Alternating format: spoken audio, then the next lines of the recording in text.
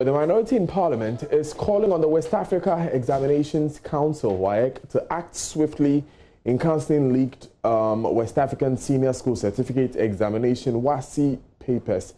It follows complaints about the consistent leakage of the papers since the exam started.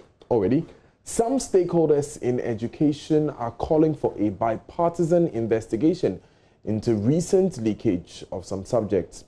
Member of Parliament for Akatsi North constituency, who doubles as ranking member on Parliament Select Committee on Education, Peter Nortsu joins me on the phone for a discussion on this. Mr. Uh, your statement says that on Friday, the 7th of August, the integrated science paper scheduled for Monday, 10th of August, was leaked and circulated widely on social media. Complaints came up and on the eve, Sunday, the evening of Sunday, 16th August, core mathematics was also seen circulating on social media. My question is this will not be the first time that we've seen leaks of this magnitude. WAEC has demonstrated in the past that they are able to identify where some of these wrongs were occurred and correct itself. Why do the papers need to be cancelled? Um, thank you very much, Daniel and uh, good evening. Yeah, that is the question that beats the imagination of everybody. Because every year, when the Education Committee uh, meets uh, at their annual budget session, they always give us assurance that uh, the leakage will not occur in that particular year. But before you realize, we have the leakage coming uh, uh, on board again. And this year's uh, leakage has been of a different magnitude, uh, where you see the papers or questions all over the social media. And in the next day, those are the questions that the students will have to answer. And it is boring. It is worrisome. So uh, we are calling on uh, WAEC to do the right thing. If they know they cannot um, get uh, assure us of the security and the integrity of the examination questions, they should be able to tell us so that uh, the government can decide on what to do. But if we are witnessing uh, the leakages at this magnitude, it's going to affect the integrity of uh, itself. And my worry is that why is it that they are not coming out to tell us anything? See, they should be sweet enough to tell us, okay, this is the situation. We have some responsibility. We cancel the paper. So the paper will not be taken on that day. We will set a, set a new set of questions. Then Ghanaians will know that, uh, yes, they are up to the task. Mm. So our appeal is that uh, this thing has leaked. It's not every candidate who had the opportunity. So some have got advantage over the others. So to be fair to all students, cancel that paper and reset the examination. Okay. That is our fault. Yeah. Um, Mr. Kotoe, please hold on for me. Um, African Education Watch, Africa Education Watch's Executive Director Kofi Asare has joined us via Zoom. Uh, Mr. Asare, um, you've just heard the Minority of Parliament is calling for a cancellation of the leaked papers. Do you agree with that position? We agree that the integrity of the examination process has been compromised hugely not because of the leakage of the papers per se, because that is virtually an annual ritual. But most importantly, because for the first time in our history, the contact details, including telephone numbers and email addresses, schools, subject areas of examiners, people who will be marking the papers, have been made public and is circulating on social media. It is a cardinal principle in assessment that the assessment agency that is WAEC, has a non disclosure uh, responsibility in respect of the identity of the examiner. And so, for you to breach that duty and circulate their contact details, then it, it, it, it raises highly fundamental integrity issues. Very quickly on that, Mr. Asare, contact details of some persons may have been leaked, but how do we know that these are the people who will be marking your scripts? There are hundreds of thousands of candidates across the country, literally. If these persons will come in contact with some of the scripts, how do you target the ones that you're going to induce? for the contact of YX examiners to be released in a manner that is tabulated town by town. You will see Cape Coast, you will see Sogakope, you will see Akim Oda, tabulated in that manner. Okay, it means that those who have access to that document will definitely have access to how the original distribution is done. Virtually, what is done is that they will, they will move this region to this region and this to this. And so you can easily trace and know where or who is likely to work on your paper. It's very, it's very simple. The most okay. confidential information is what is out. Okay. And so getting to know where they will move this region papers to is, is simple because if a person can manage and enter the system and get this data, that, that is less, um, that's not security data. Uh, but the security data for which there's a, there's a non-disclosure responsibility on is what has even leaked. And WAEC has confirmed that it is a genuine document. All the same, all the same, just so I understand your issue well, I'll come back to that. But on what the minority said, should the papers be cancelled, Mr. Asare?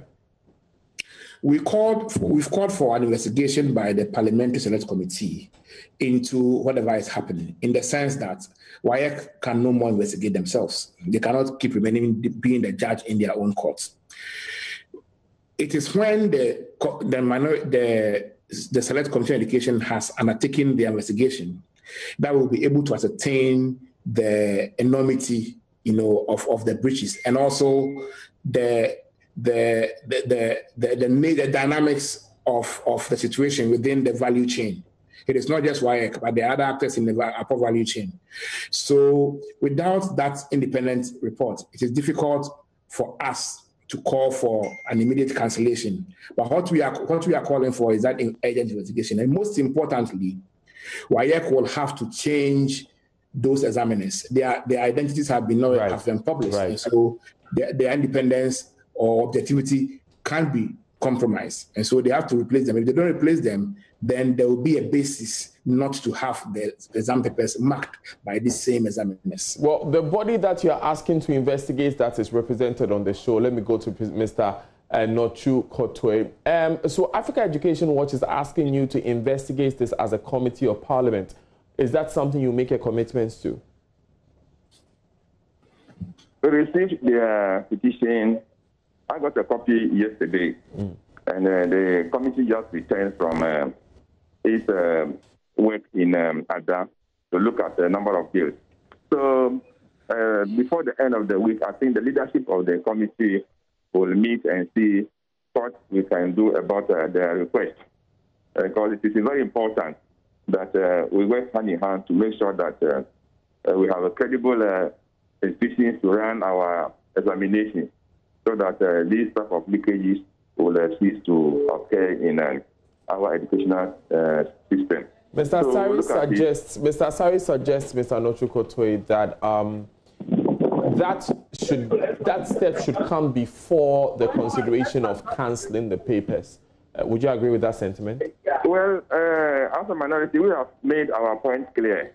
So this one is for the committee to look at. Okay. So whichever comes first, I think uh, we'll all look at it uh, in any direction that it comes. Finally, about the, the, the, identities of the examiners that has been leaked according to Africa Education Watch. Has this come to your attention and um, what's your take on that? Well, it will be part of the investigative uh, process so that uh, as we do the uh, investigation, we'll see how those names also came out and what damage uh, it has done to them personally or to the exam council. So we'll look at those things uh, as we do the investigation. Would you agree that that compromises the examination process, not just in the writing yeah, and the it's marking? it's a serious compromise, yes, mm. which uh, is not the best. So uh, it is not the best. We'll see how we can correct uh, those things and then prevent them from occurring again. Now, uh, finally, from you, Mr. Kotoe, in your engagement with your colleagues on the other side, in the majority, is this sentiment of WASSCE paper cancellation reflected? Is it a, bi- a, bipartisan position? And this, this resolve to investigate, you think is bipartisan, or your colleagues hold a different view? Friends on the other side, the majority will yeah. also agree to uh, this mass leakage of uh, questions uh, in uh, the system. I don't think they will agree. Yeah, so uh, we have gone further to say this will be the cancellation will take place. But I cannot talk for them if they also agree that uh, the papers should be cancelled. Thank you very much, um, Peter Nortsu Kotoe. Um, finally, from you, Kofi Asare of Africa Education Watch, you just got a direct response on your petition that is going to be looked into um, by the Committee of Parliament. Are you satisfied? Well, um, we we are satisfied that the issue of whether or not there was a leakage is not an issue anymore. We are satisfied that WAEC themselves yesterday admitted that they've been having issues with leakages in the strong room. And they also admitted that the, the Excel spreadsheet doing rounds is actually their document. And so they are investigating how it leaked. And so once we've established that the two allegations are true, then it makes it a bit easier for whichever inquisitorial okay. or investigative body to, to narrow down on finding out how it occurred, the various facilitators within the value chain, and then what institutional reforms, as we've recommended. We've recommended that there has to be an independent uh, regulator for assessment bodies in Ghana similar to what you have in the UK, what we call Ofqual, Office of Qualification and Assessment. Right. Without a regulator, WAEC will be a judge, and then um, there will also be um, a referee. They will be the judge in their own court. And so it's important for us to look at the institutional reform aspect. That is what will prevent this from happening next year. But if we focus on the scenarios and the scandals, we will definitely have it next year. But if we focus on institutional reform, um, in the assessment system in Ghana, we are likely to have a situation where WAEC will now come under some regulation and will have sanctions for um, um, allowing certain security breaches to occur. And so they might be much more meticulous in their approach in, in, in the approach towards um, administrative examinations than the current LAGSIC one, which is partly a result of their monopoly. The argument then, Mr. Asare, would be that WAEC was brought in as a West African body to regulate schools to ensure that there's fairness in, in administering this exam. Now, WAEC as a, as a body itself has been compromised. So, what stops another office from being compromised if it's also created? Well, the issue, of course, WAEC here as a body in five uh, African countries, true. But it is also true that throughout the period, the decades of our of this WAEC framework, other countries have liberalized their system. They are Nigeria, RIEC is not the only assessor there. Other countries have, have, have liberalized the system so that we have other um, assessors participating within the public space so that it dilutes their monopoly. The law, the WAEC law, um, doesn't at 719 or so, it doesn't say that WAEC should enjoy a monopoly. There's nothing like that. And so we think that even though we've been with WAEC for a long time, it's been a long time come for WAEC to appreciate the fact that we've moved to a different era of technology where little security breaches would escalate into massive, you know, uh, right. um, leakage of examination papers. And so that tra- that transformation from WAEC from the 20th century to 21st century right. has not been smooth. And so they need to put their hands together. By putting their hands together, we cannot put our integrity on the line because a certificate that our children and our students get from mm. schools when they when they write the examination for us is very very important and so we care about okay. who assesses our children and for that matter WAECs need to um, not only reform, but we need to regulate them to comply with the standard that we think as a state we deserve to have in our certification assessment process. Kofi, thank you very much for joining us this afternoon on the Pulse. Now, you heard him refer there to an admission made by WAEC. That is in a statement that was released um, very shortly. As you can see, there is captioned the 19th of April. So this actually was released a few minutes ago. Circulation of examiners list on social media and alleged leakage of examination papers. The attention of West Africa Examination Council has been called to the very unfortunate circulation of a yet to be finalized version of an examiners list for the WASSCE 2020 on social media. The council has initiated investigations into this disturbing development and reported the matter to the Cybercrime Department of the Ghana Police Service. The council wishes to assure its stakeholders and members of the public that its marking process, which has been tested over the years, ensures fairness.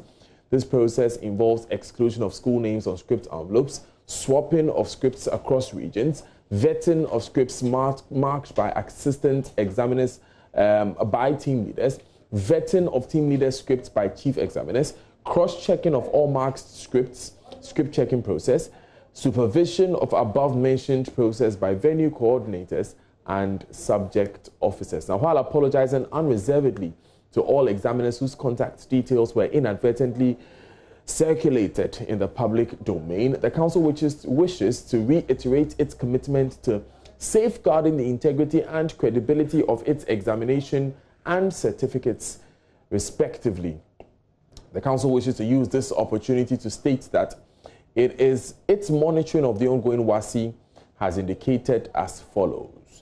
One, the activities of rogue websites are in full force with several fake versions of questions being circulated on social media. Also, fake versions of Integrated Science 2 and 1, Social Studies 2 and 1, Chemistry 3, Practical Alternative A, and Economics 2 and 1 papers were shared on social media platforms. Also, snapshots of the Mathematics Core 2 paper were posted on social media platforms after the release of the paper from WAEC Strong Rooms. Investigations into these issues are ongoing. Meanwhile, the Council will continue to roll out various measures to deal with these illegal activities in order to ensure fairness to all candidates and maintain the integrity of the exam. So I, I, I, this was released today on the 19th of August, just a few uh, minutes ago, I understand.